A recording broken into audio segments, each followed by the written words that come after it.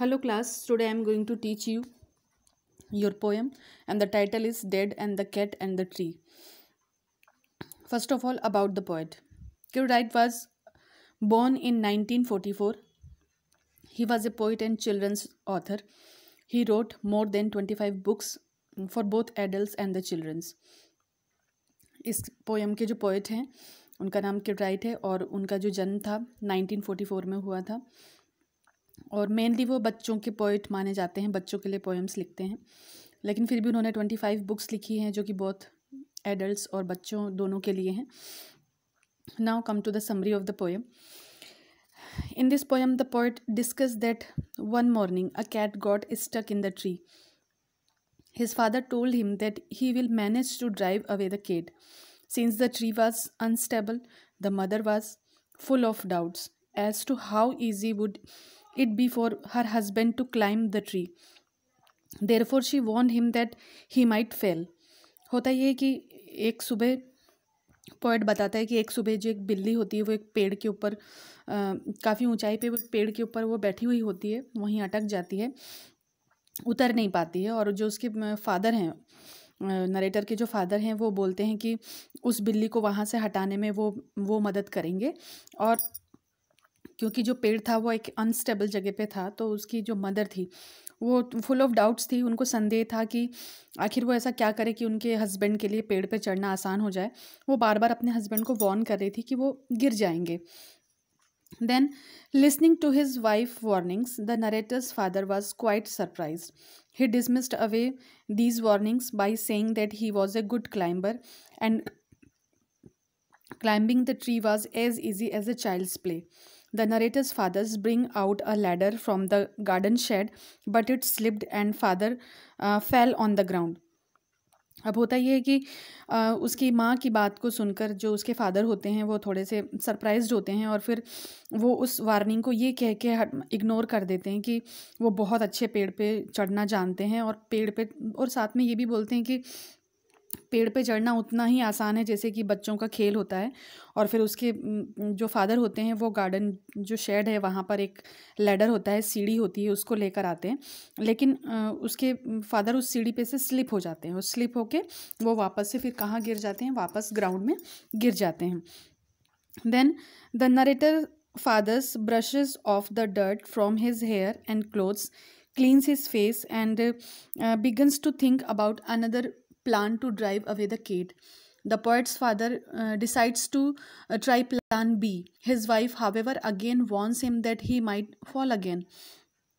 फिर उसके पिता क्या करते हैं जब वो गिर जाते हैं तो वो अपने गिरने की वजह से जो उनके कपड़ों पे और उनके बालों पे जो धूल लगी थी वो उसको उसको झाड़ते हैं उसको साफ़ करते हैं अपने चेहरे को साफ़ करते हैं फिर वो सोचने लगते हैं कि मैं ऐसा कौन सा ऐसा मैं प्लान बनाऊँ और उस बिल्ली को वहाँ से हटाऊं फिर उसके जो फादर हैं वो अपना प्लान बी ट्राई करते हैं। और उनकी जो वाइफ है उनको फिर वॉर्न करती है कि आप गिर जाएँगे।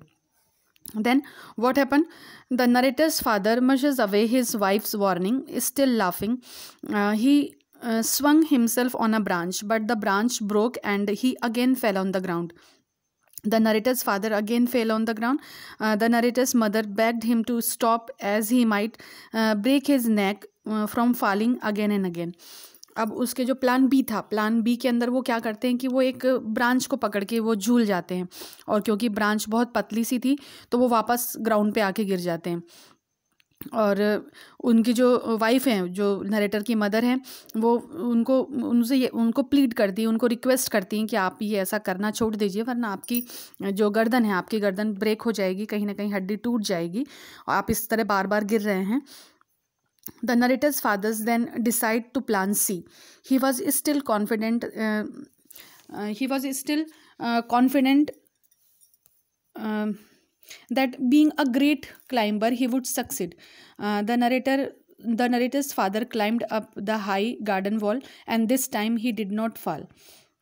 अब होता यह है कि जब प्लान ए फेल हो गया प्लान बी फेल हो गया देन वो क्या करते हैं प्लान सी बनाते हैं और प्लान सी के अंदर क्या था कि वो वो और पूरा कॉन्फिडेंस दिखाते हैं कि वो बहुत अच्छे क्लाइंबर है और अब की बार तो वो सक्सेस हो ही जाएँगे और अब की बार वो क्या करते हैं कि जो गार्डन की जो वॉल होती है जो दीवार होती है वो गार्डन की दीवार के ऊपर कूदने की कोशिश करते हैं। The father with a greet great leap finally landed on the tree top right on the cat the moment the father landed on the cat the cat screamed with fear and sprang to the ground landing smoothly on the ground its seemed content with with itself अब होता ये है कि वो success तो हो जाते हैं दीवार के दीवार से कूद कर वो बिल्ली के पास तक जाने के लिए, लेकिन जो ये मूवमेंट होता है, इस मूवमेंट से जो बिल्ली है, वो थोड़ी सी डर जाती है और डर के फिर वो वहाँ से छलांग लगाती है और बड़ी ही स्मूथली बड़े ही अच्छे तरीके से वो ग्राउंड पर लैंड करती है और वो बहुत कंटेंट संतुष्ट होती है और वहाँ से भाग जाती है बिल्ली।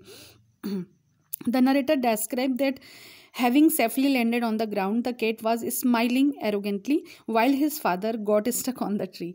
अब होता यह है कि जो बिल्ली है वो तो सेफली लैंडेड हो जाती है ग्राउंड पर और ग्राउंड पे लैंड होने के बाद जो वो बहुत ही एरोगेंटली मतलब एक एक क्रे एक, एक क्रेज़ उसके फेस पे दिखता है एक मतलब उसको लगता है जैसे वो जीत गई हो वो एरोगेंट वो जो घमंड जो था वो उसके चेहरे पे बिल्ली के दिखता है बिल्ली वहाँ से चली जाती है और जो फादर हैं वो फादर पेड़ पर अटक जाते हैं। So this was the very humorous very funny poem बहुत ईजी है इसमें एक्सप्लेन करने के लिए, कुछ है नहीं ज़्यादा।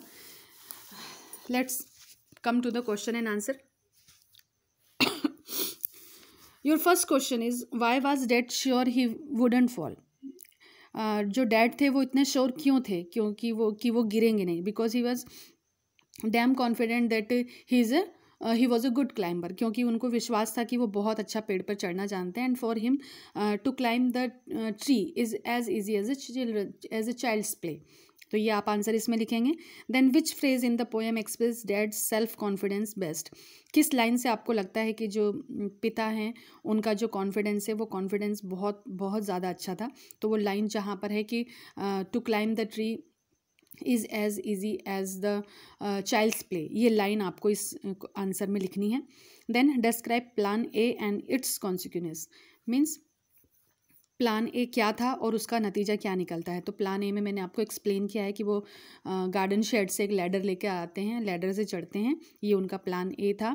और उसका कॉन्सिक्वेंसनेस क्या है? उसका नतीजा क्या निकलता है कि वो स्लिप हो जाते हैं स्लिप स्लिप होकर वो ग्राउंड में गिर जाते हैं और उनकी पूरी बॉडी पर डस्ट लग जाता है।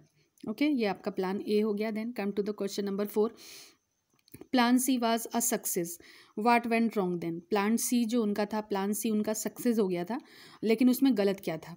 तो उसमें गलत ये था कि जो बिल्ली थी, वो अपने आप ही नीचे ग्राउंड पर लैंड कर लेती है स्मूथली और जो उसके पिता हैं, वो वो पेड़ पे ही अटक जाते हैं। ये उनका प्लान सी था, ये और ये, इसमें ये गलत था। Now come to the question number five the cat was very happy to be on the ground pick out the phrase use to express this idea बिल्ली जब ग्राउंड पे गिरी तो वो बहुत ही बहुत ज़्यादा खुश थी और आपको वो लाइन ढूंढनी है कि वो लाइन इस पोएम के अंदर कहाँ है। तो वो जो लाइन थी जिसमें वो एरोगेंटली लिखा हुआ आया था, उस लाइन के अंदर ये आप जब लाइन पे जाएँगे तो लाइन में वहाँ पर लिखा हुआ है safe and sound so its smiling and smirking swung can as can be ये जो लाइन है वो लाइन आपको यहाँ पे लिखनी है। Then come to the question number six describe the cat and dad situation in the beginning and at the end of the poem. शुरुआत के दौर में आपको बताना है कि बिल्ली और पापा की कंडीशन क्या थी और फिर स्टोरी के एंड में आपको बताना है कि उन दोनों की सिचुएशन क्या थी।